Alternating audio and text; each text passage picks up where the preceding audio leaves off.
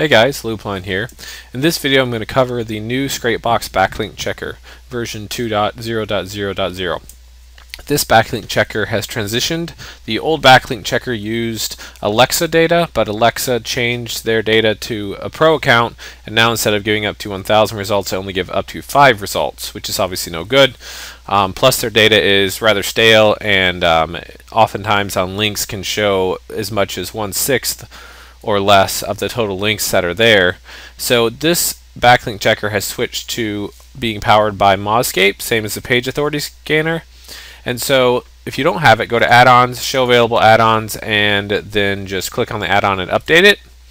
And once you're done, then you can open this up. If you already have the Page Authority add-on set up with accounts, it's going to check that and it's going to bring in any accounts you have set up from the Page Authority add-on. Otherwise, you can set up an account. So we're going to click on Account Setup, and then um, I'll walk you through here how to set up an API. So click on Account Setup we get the option to register an API key and then this is going to be our format up here where we use access ID and then pipe key and then secret key, or access ID, secret key, and then proxy details. And you can see I have one of each here. So this would be my access ID, my secret key, and then access ID. You'll see the pipe keys there, secret key, and then another pipe key, and then the proxy setup, just like you would in Scrapebox. So when we click to register an API, it brings up SEO Moz's website. Now, if you don't have an account, you can register for an account. If you already have an account, you can go ahead and use that. We're going to go down here to generate API key.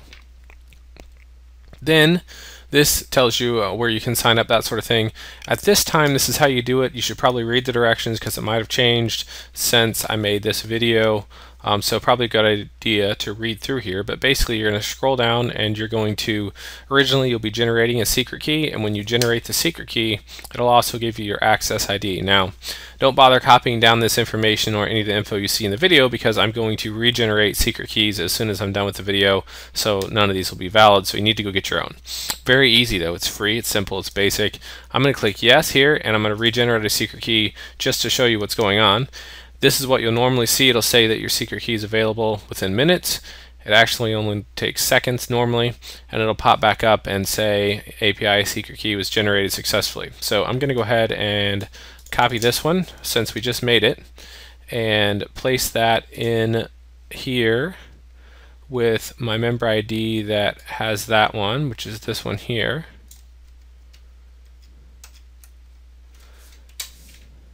And get it up formatted and then close it down here. And once we have our APIs entered, we're going to load a list and I'm just going to bring it in from the Scrapebox Harvester here. And then I'm just going to hit start. And you can see it's going to go through and check for the total backlinks and then just keep going.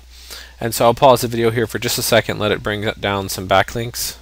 And that's good enough. And so I'm just going to stop it here and then let it finish. And once it completes we're going to save the backlinks and we can just stick them in here.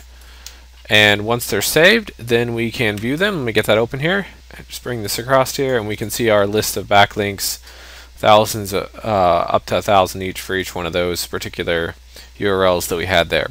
And that is how you use the new Scrapebox backlink checker to get more accurate results and to get more results in total